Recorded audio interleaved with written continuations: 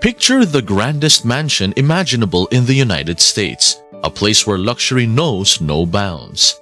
Envision a sprawling spa offering the most lavish treatments, a movie theater that rivals any cinema in Hollywood, a bowling alley for those evenings of leisure, a juice bar to invigorate the senses, perhaps even a moat adding an air of timeless majesty, or a full-fledged nightclub that never sleeps.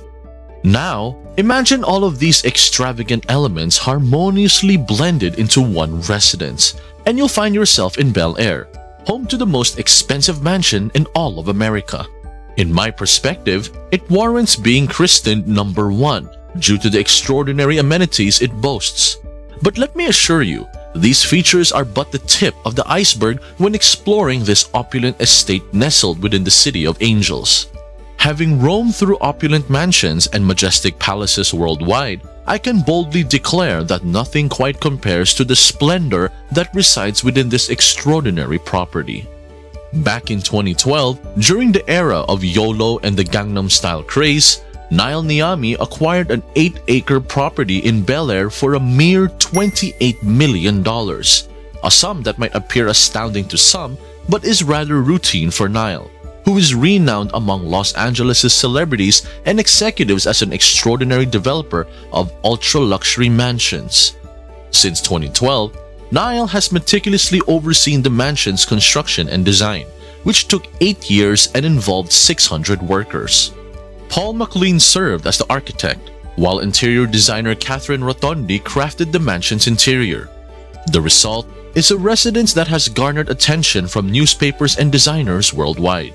In 2015, Nile Niami mentioned in an interview with GQ that the mansion would be listed for a staggering $500 million. But what truly sets this property apart? To start, its sheer size is unparalleled.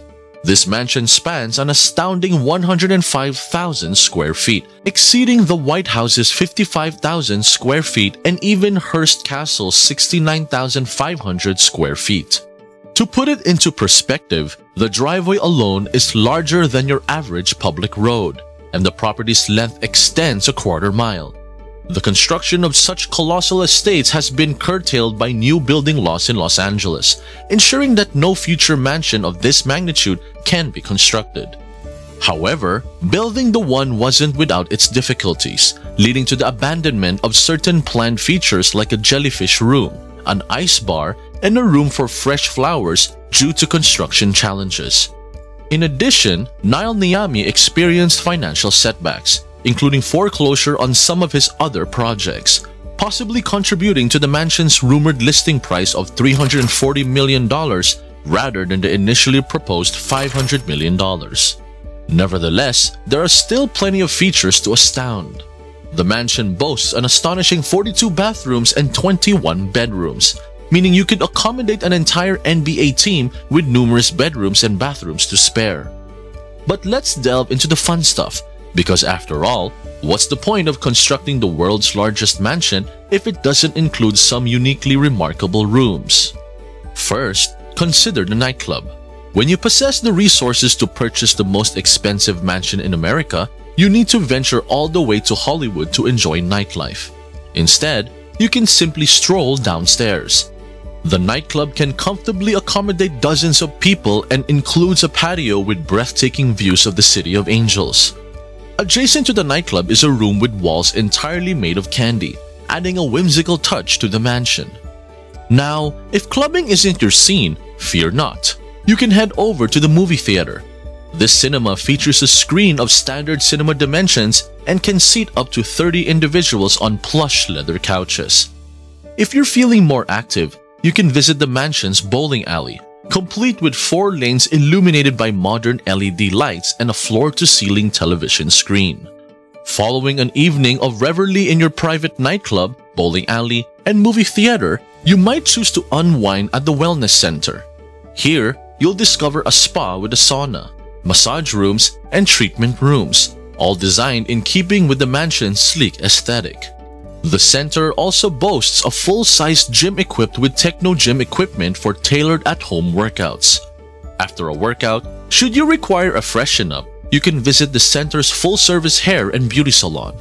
Moving on to the outdoor amenities, the mansion features multiple infinity pools, including a stunning curved infinity pool that extends beyond the property's edge, providing breathtaking vistas of the Pacific Ocean, San Gabriel Mountains, and downtown Los Angeles.